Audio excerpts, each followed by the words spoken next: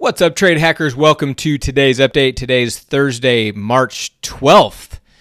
Felt like just yesterday, Groundhog's Day was the slow grind higher in stocks, and now it's a different story, but almost like Groundhog's Day, where every day it's another big day down. Today, S&P's down 10%, biggest one-day move to the downside in the S&P since the 1987 market crash. So crazy stuff, and that's on top of an already massive move. If we look at the S&P's year to date, that puts us minus 24% year to date and about 28, 29% off of the all-time highs. So big time correction, my friends, big time correction. Dow down uh, over 2400 today, Nasdaq down 774. Russell down 148. Oil slides down about 6%. Gold down also. So, not a flight to quality there, not a safe haven in gold, especially today. We talked about that yesterday.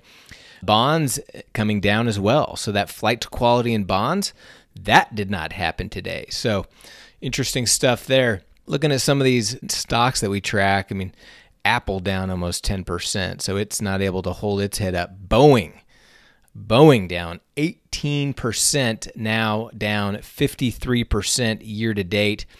And beware trying to short airline stocks. I think there's probably going to be an airline bailout. Boeing might be in that situation as well. From a standpoint of, I mean, they're one of, I think, two companies in the country that produce airplanes for the most part. I mean, they, you know, if, if they if they keep tanking, I mean, that's going to affect the entire travel industry for for years to come. So. I would think that the airlines, to some extent, are going to get some sort of bailout. Speaking of bailouts, the Fed has come out with another $500 billion in short term cash to banks, raising the entire kind of package to 1.5 trillion in easing in cash that's being put into the system. So they are they're trying to do everything they can. You know, sometimes you got to let free markets do what they do. Now, I don't agree or disagree with with what they're doing, but I would say, you know, sometimes this just needs to play itself out. Sometimes you just got to wash out what's needed and and let the free markets bounce back. And they will. They always do. That is part of being a capitalist society. Now, this is a worldwide pandemic, so not just involving the US, obviously. And and so the the thought is basically how long is this going to last, right? How long will it be until the coronavirus is kind of kind of subsides and starts to go away? And you know, it's just it's reaching into every aspect of everyone's lives now. No matter what business you're in, the coronavirus is affecting you. Companies are shutting down travel, they're shutting down conferences, they're shutting down the ability to meet. But with today's technology, we've also, you know, like the technology I'm recording on right now, and you've got Zoom and Skype and all these different things. So, web conferences and meetings, you know, they're still going to take place, but the factories and the shutdowns and all the things that go along with the pandemic like this are pretty pretty interesting. And and nobody knows how far it's going to go. Now the S&P is back in 2008 let's let's take a, a little trip down memory lane. Let's take a look at SPX and let's change our time frame to 20 let's just go back 20 years and take a look. So let's go back to 2008 which would be right right here. So here's 2008. Let me just zoom in just on this area here. So from the top, let's call it right here.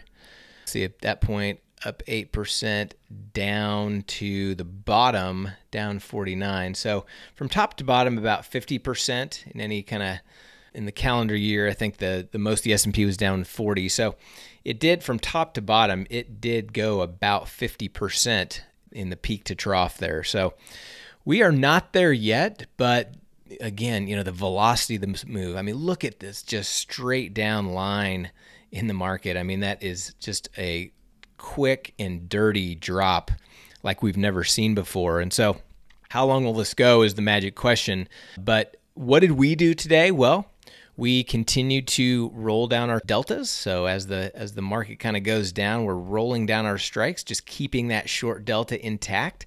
And so that has bode very well for us in our portfolio. We definitely need a bounce in oil. So we haven't done anything in oil yet. Bonds coming down helped our bond position. So that's all good. We started to dip our toes back into selling a little bit of premium, but staying extremely small. Sold an iron condor today. Also added an iron duck with a, a big downside buffer to it. What's interesting is if you look at a if you did an iron duck in SPX today and if you did it with one that expires tomorrow on Friday, you could get a 200 point buffer to the downside. 200 points. Now, I get that that could certainly happen, right? I mean, we're seeing in the S&P, uh, the S&P dropped 269 points today. So that can certainly happen, but you know, after a drop like this, adding a, a position on where you have no risk to the upside and another 200 point buffer to the downside. Let me just let me change this back to pricing. You know, so if you put this on at 2480, you've got all the way down to 2280 way down here, and that expires tomorrow. That's pretty nuts, especially if you compare it just to a few weeks ago. And I know this seems like 10 years ago. But a few weeks ago, when the market was grinding higher and implied volatility was low and the market was at all time highs, and you put on a a duck with 21 days to expiration, you had maybe a 100 point buffer. You know, a lot of times 80 to 100 point buffer. And now you can put on a one day duck with a 200 point buffer. That is insane. So, crazy stuff. As always, keep your position size small, live to trade another day, don't try to be a hero and uh, stay mechanical. Hope everybody has a good night. Talk to you tomorrow.